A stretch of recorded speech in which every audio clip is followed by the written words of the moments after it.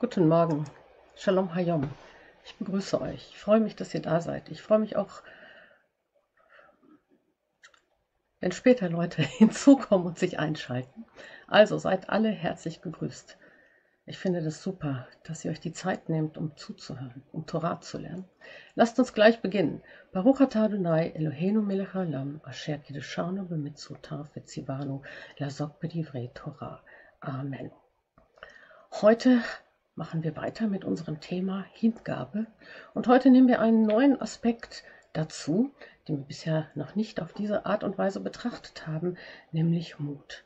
Hingabe und Mut. Was hat Hingabe eigentlich mit Mut zu tun? Wie sieht das aus? Und das werden wir jetzt gemeinsam erkunden. Und das machen wir nicht im luftleeren Raum, sondern wir greifen zurück auf die Torah, auf die Geschichte, in der wir uns gerade befinden, die Geschichte der Väter Abraham und Jitzak. Und da beginne ich jetzt noch einmal. Also Abraham und auch Jitzak, das sind hingegebene Menschen. Hingabe, was ist das? Hingabe ist eine innere Haltung. Abraham und Jitzak, sie weihten ihr Leben Gott. Ihr Herz war stets auf Hashem ausgerichtet. Hingabe, das war der Lebensstil von Abraham und auch Jitzak. Und wir werden auch später sehen, auch von Jakob natürlich, Josef und, und so weiter. Und jetzt hört sich das so toll an. Aber ist das einfach? dieser Lebensstil? Hingabe, ist das nur eine innere Haltung oder bedarf es da nicht auch einen Ausdruck im Äußeren, nämlich in der Handlung? Und genau so ist es. Und dann wird Hingabe ein Weg voller Herausforderung, weil das Ziel ist ja immer näher zu Hashem zu kommen. Die Himmelsleiter, die ich euch hier mitgebracht habe, ihr seht es auf dem Bild, wirklich zu erklimmen und anzukommen. Das ist das Ziel, anzukommen bei Hashem. Also wir sehen, Hingabe ist etwas, was Abraham, Yitzhak und auch uns, wenn wir so leben wollen, auf unserem Weg begleitet. Und wenn wir uns auf dem Weg machen, dann ist dieser Weg nicht einfach. Dann gibt es Herausforderungen. Und mit jeder Herausforderung, wenn wir sie dann annehmen, dann wachsen wir. Und dann nehmen wir zu an Weisheit und Erkenntnis. Wenn wir uns auf den Weg gemacht haben, dann gibt es eine Erfahrung, die uns auf diesem Weg immer begleitet, nämlich laufend stoße ich an meine Grenzen. Und wenn ich wachsen will, dann geht es da, um diese Grenzen zu überwinden. Und nun sind wir bei dem zweiten Wort angekommen, Mut. Dafür bedarf es Mut. Mut, was bedeutet das? Was ist das? Irgendeine verrückte Idee und dann mache ich etwas, äh, was andere äh, vielleicht nicht machen. Ja, was andere nicht machen, gehört dazu. Aber Mut bedeutet eigentlich, dass ich meine eigenen Grenzen überwinde. Die Überwindung der eigenen Grenzen. Und dann erst wachse ich. Und auch hier dieser Wachstum, diese Überwindung der Grenzen, sie fällt nicht vom Himmel, sondern ich muss etwas zu tun, dafür tun. Ich muss meine Grenzen überwinden. Und oft, denke ich, stehen wir vor einer Grenze und dann überfällt uns Angst. Und dann sollten wir uns besinnen und Mut haben. Abraham, so lesen wir, vertraute Gott. Und auch dieses Vertrauen auf Gott ist nicht etwas Abstraktes, sondern es ist eine aktive Tat. Er handelte. Abraham war mutig. Er ging ins Risiko. Wir erinnern uns noch einmal, Lech Lecha, geh aus deines Vaters Haus in das Land, das ich dir zeigen werde. Ja, Mai, ist das nicht mutig, wenn man sich dann auf den Weg macht? Würdet ihr das tun, einfach mal zu gehen in ein Land, was Gott dir zeigt? Abraham machte es. Er wagte den ersten Schritt und den zweiten und er ging. Und indem er das getan hat, wusste er, wie es war. Vorher natürlich nicht. Vorher war es Theorie. Jetzt ist es Prax, Praxis. Auf dem Weg sein Wachstum hat immer auch mit Risiko zu tun. Abraham ging und er begegnete vielen Herausforderungen. er ging ins Risiko. Wir haben es auch schon besprochen. Er zog in den Krieg. Was trieb ihn eigentlich dazu? Hätte er auch zu Hause bleiben können. Nächstenliebe, die Liebe zu seinem Neffen Lot. Und danach kam seine Angst. Er hatte Angst, keine Verdienste mehr zu haben. Und dann sprach Hashem ihm Mut zu. Er sagte nämlich, fürchte dich nicht, Abraham, denn ich bin dein Schild und dein großer Lohn. Und dann ging es weiter. Dann kam der Bund. Aber der Bund kam nicht sofort. Vorher gab es viele Veränderungen bei Abraham, viel Wachstum. Der Bund der Beschneidung, der Höhepunkt im Leben von Abraham, Beschneidung. Wir denken, damit fing es an. Nein, das ist das Ende. Denn es gibt mehrere Stellen, wo sich der Mensch beschneiden soll. Beschneidung der Lippen, Beschneidung der Ohren, Beschneidung des Herzens. Und erst dann kommt die Beschneidung am Körper, sozusagen die Vollendung. Abrahams Weg war nicht einfach.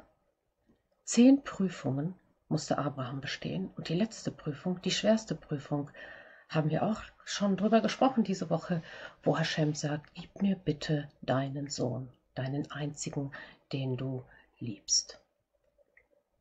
Es war nicht einfach für Abraham, auch hier brauchte er Mut.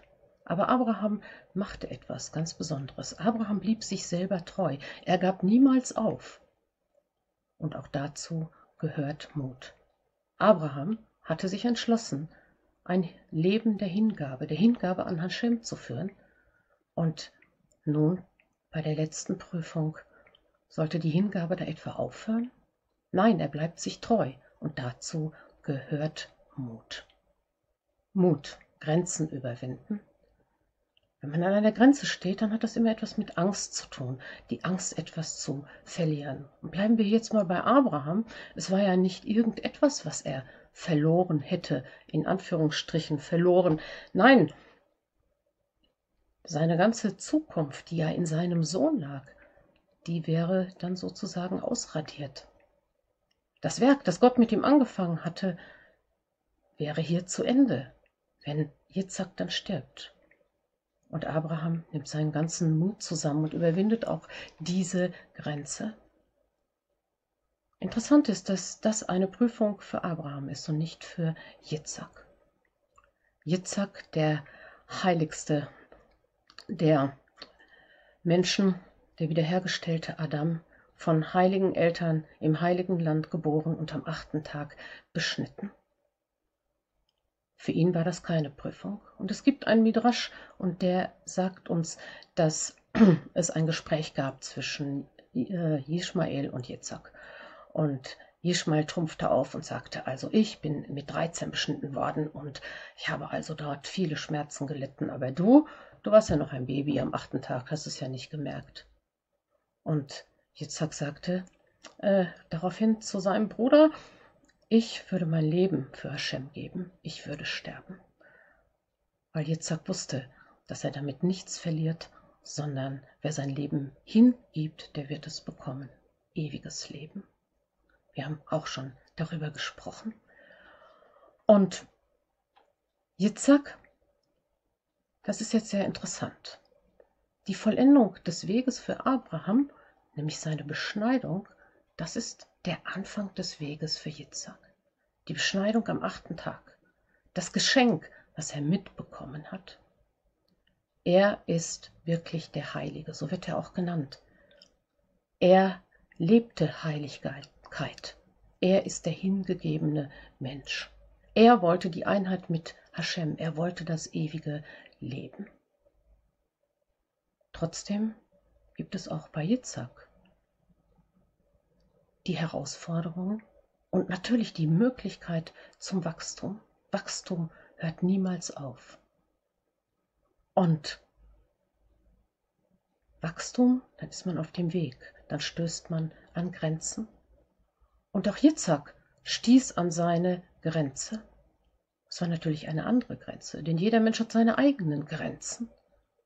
Baruch hat gestern schon davon gesprochen. als Yitzhak die Brunnen wieder ausgegraben hat. Diese Szene gestern hat er ausführlich besprochen. Was ist die Angst von Yitzhak? Yitzhak hatte Angst, seinen Stand, seinen hohen Stand der Heiligkeit zu verlieren.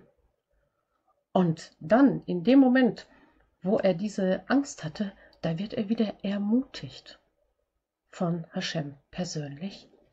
Und dann lesen, lesen wir, da erschien ihm der Ewige in derselben Nacht und sprach, ich bin der Gott Abrahams, deines Vaters, fürchte nichts, denn mit dir bin ich. Ich werde dich segnen und vermehren, deinen Samen im äh, meines Knechtes, um meines Knechtes Abrahams willen. Ist leider ein Fehler drin.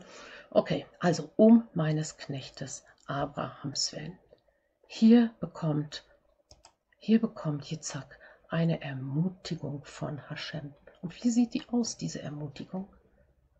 Hashem sagt zu ihm, erinnere dich an den Bund, den ich mit deinem Vater geschlossen habe. Vertraue auf den Bund mit Abraham. Er war bereit, alles zu riskieren. Und du hast den Bund geerbt. Erinnere dich. Gedenken. Wisse, wer du bist. Bleib dir auch treu. Mache diesen Bund zu deinem Bund. Wisse, wer du bist. Stehe zu dir selbst. Auch dazu gehört Mut. Haben wir bei Abraham ja schon gesehen. Gott wird Pachat Yitzhaks, der Schrecken Isaaks, der Schrecken Yitzhaks genannt. Das lesen wir in Bereshit 31. Das hat etwas zu tun, dass Yitzhak gefüllt ist mit Gottesfurcht. Gottesfurcht bedeutet Demut. Jetzt haben wir noch ein, noch ein Wort, noch ein Begriff, Demut. Der Anfang der Weisheit ist die Furcht des Ewigen.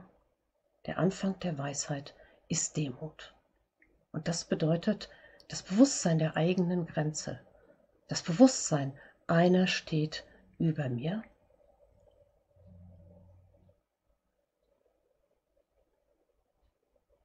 Jeshua hat gesagt, und damit möchte ich schließen und auch einen Bogen spannen,